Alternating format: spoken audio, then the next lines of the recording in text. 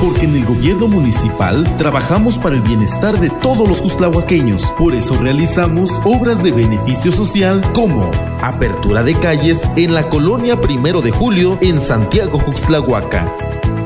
El cambio se nota. Gobierno Municipal de Santiago Juxtlahuaca 2014-2016. Trabajando unidos, avanzamos.